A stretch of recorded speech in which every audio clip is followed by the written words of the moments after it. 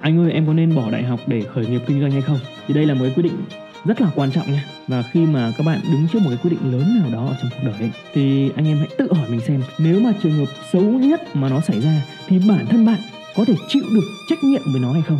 Các bạn có thể chịu đựng được nếu mà nó thất bại hay không? Và nếu các bạn chịu đựng được thì các bạn cứ làm thôi. Và đừng hỏi người khác rằng là có nên hay là không nên làm vì người ta họ không phải là bạn và không ai quyết định cuộc đời bạn thay bạn được cả.